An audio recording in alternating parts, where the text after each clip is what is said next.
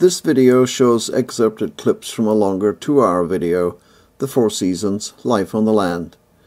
This short clip, dealing with harvesting grass or hay, demonstrates how within a few generations, innovation led to great increases in speed and efficiency, and raises the question whether these gains, while necessary due to a declining population, may have created some concomitant losses in the age-old relationship between people and the land.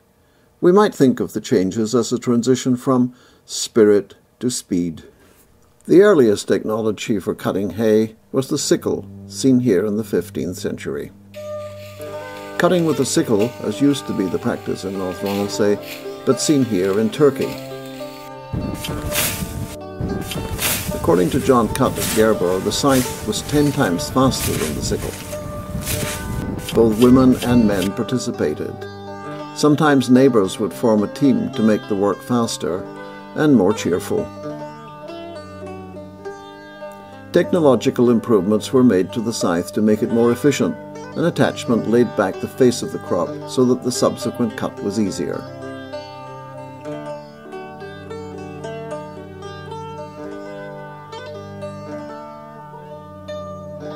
This shows the attachment and here the attachment is in use.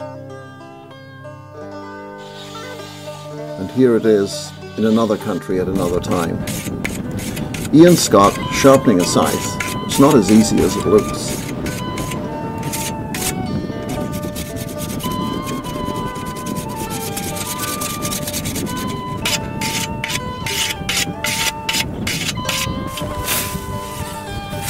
And here is the scythe in action.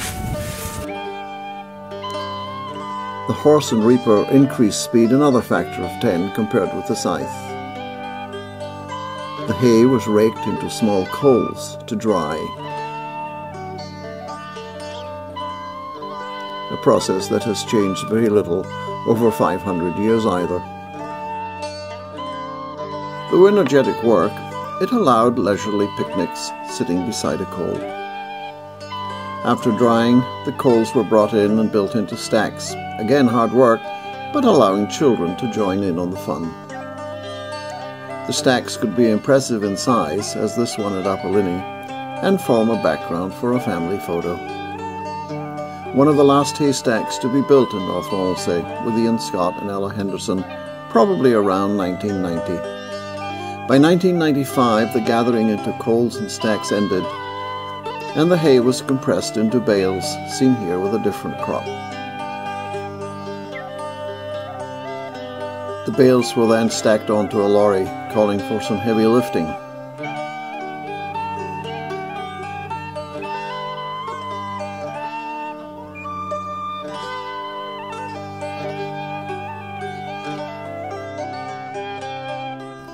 The lorry waits to carry the load into the yard, where it is built into a gigantic stack.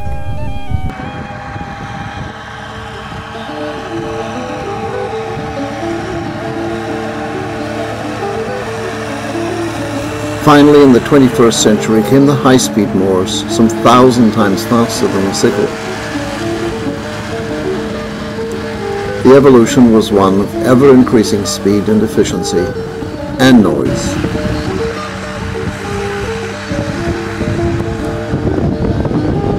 May only marvel at what the men and women of old with their scythes would have thought.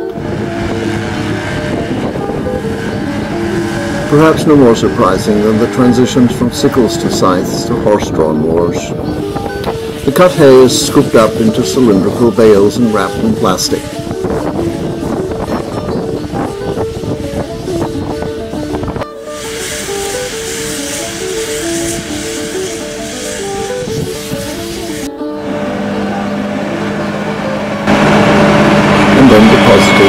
Field.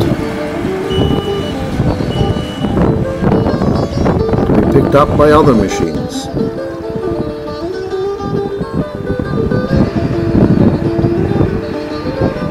Now it is all fast and efficient, no more leisurely picnics leaning against a large coal of hay.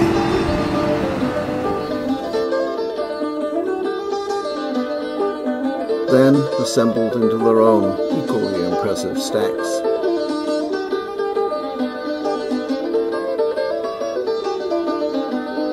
Stacks of plastic wrapped bales.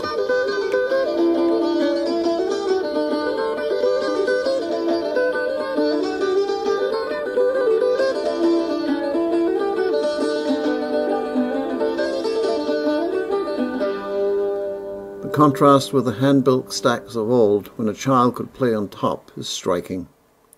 The old and the new, the stacks of old and the bales of the new. Within a few generations, the speed of cutting hay increased by a factor of a thousand, while the population decreased by a factor of ten. The increase in speed perhaps leads to some loss in the connection to the land and the spiritual dimensions.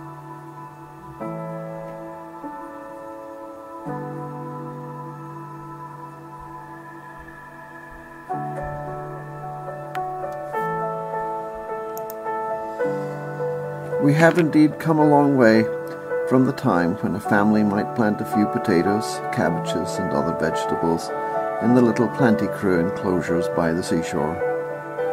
Oars long, an age-bent wife wi' aspect mild stands gazing out to sea, or digs a speel, slowly, as if be vagrant touts beguiled, and sets her twartry tatties at the drill. No chens who firm, shahuds be seek like toil, man's eld inheritance of sea and soil. Hours long, an age-bent wife with aspect mild stands gazing out to sea, or digs a while, slowly as if by vagrant thoughts beguiled, and sets her two or three potatoes in the furrow, nor knows how firm she holds by such like toil. Man's old inheritance of sea and soil.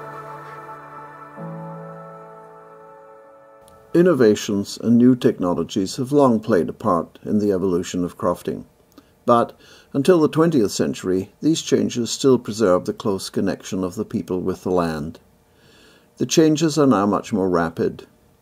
Combined with the parallel rapid decline in the population, it may become a challenge to preserve these spiritual connections and to maintain our age-old inheritance of sea and soil.